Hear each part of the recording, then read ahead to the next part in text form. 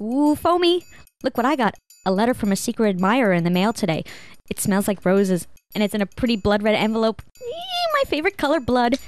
Well, whoop-de-doo, you got a letter. Woo! Probably from one of your crack addict friends anyway, so who gives a shit? Shh.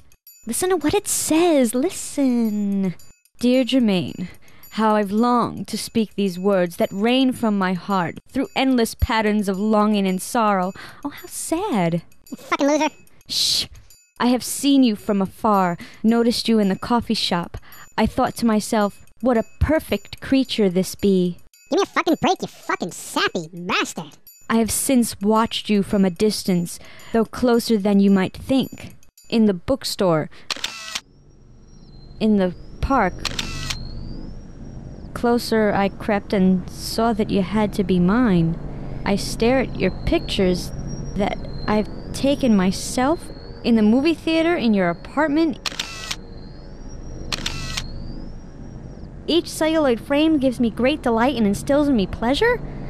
To see your naked frame shower as you wash the filth of this world from your flawless body. Perfection is thee, I will meet you and I will have you. Signed the Eternal Watcher. P.S. I can see you now. What the? Ha ha, you have a stalker, you have a stalker. I don't, you do, you're gonna die. I can sleep at night. For whom the bell tolls, it tolls for thee. ah, relax yourself. You're jumping around all jittery like, like a fucking crack addict. I have a friend like you, you know. Always jittery.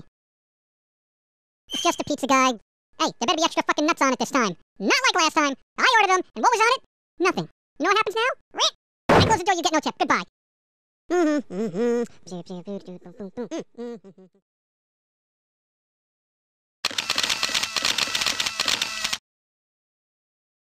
Jeez. You stiffed me on the nuts.